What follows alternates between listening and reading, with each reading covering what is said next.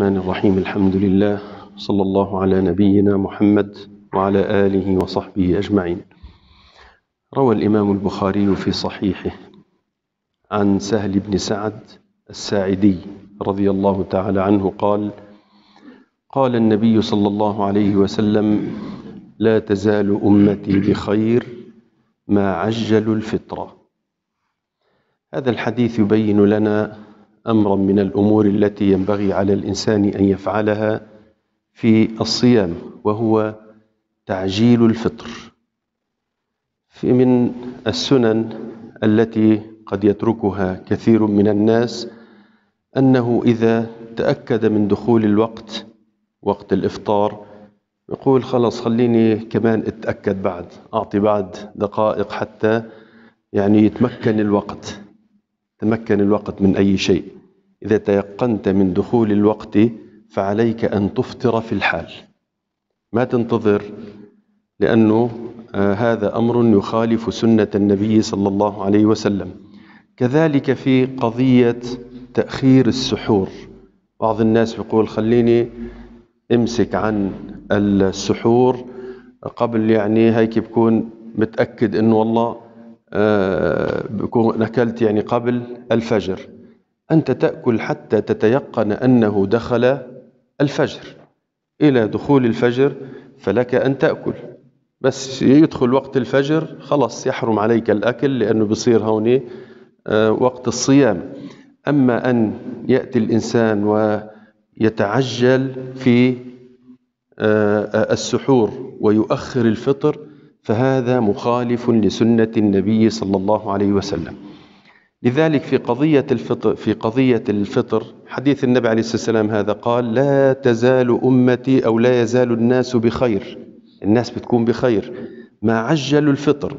يعجلوا يعني لما تيقن من دخول الوقت أفطر ولا تترك الوقت أن يمر.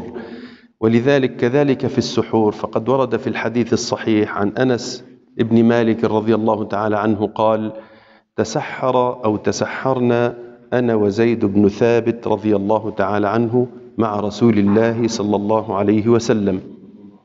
قال فلما فرغنا من السحور أو من السحور قام رسول الله صلى الله عليه وسلم إلى الصلاة. قال قتادة عم يقول لأنس كم كان بين أن فرغ رسول الله صلى الله عليه وسلم من السحور وبين الصلاة؟ قداش كان لما فرغ من السحور يعني أذن. كم كان بين الأذان وبين أن صلى النبي عليه الصلاة والسلام؟ قال قدر خمسين آية. قدر خمسين آية. يعني بالقدر الذي يقرأ فيها الإنسان خمسين آية. قداش بيأخذ معه؟ أقصى حد بيأخذ معه سبع دقائق إلى عشر دقائق. خمسين آية. فلذلك هذا يبين لنا أن النبي عليه الصلاة والسلام لما أذن الفجر ترك السحور. ثم قام إلى الصلاة. يعني حتى كان أذن وصلى السنة ودخل في الصلاة صار في عشر دقائق. فلذلك يعني الرسول عليه الصلاة والسلام أخر السحور إلى أن تيقن من دخول الفجر. ما قال والله بدي أعمل قبل أتوقف قبل؟ لا. ولذلك يقول ابن حجر رضي الله رحمه الله ابن حجر العسقلاني شارح صحيح البخاري يقول في كتابه فتح الباري يقول ومن البدع المنكرة التي حدثت البدع المنكر التي حدثت أن أناسا يتعجلون السحور ويؤخرون الفطر ويخالفون سنة النبي صلى الله عليه وسلم. ولذلك فقد كثر فيهم الشر وقل فيهم الخير والله المستعان.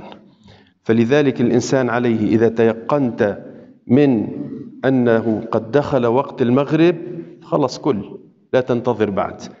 وإذا كنت في السحور وقت السحر عم تتسحر فتسحر حتى تتيقن أنه دخل وقت الفجر. ما تكون مثل بعض الناس والله خلينا دخل صحيح بس بعد خمس دقائق هيك بتأكد. لا هذا مخالف للسنة وكما قال ابن حجر قال هذه من البدع المنكرة والذي إذا فعلها الإنسان قال يقل خيره ويكثر فيه الشر. نسأل الله عز وجل أن يعلمنا ما ينفعنا وأن ينفعنا بما علمنا وصلى الله على نبينا محمد وعلى آله وصحبه أجمعين والحمد لله رب العالمين.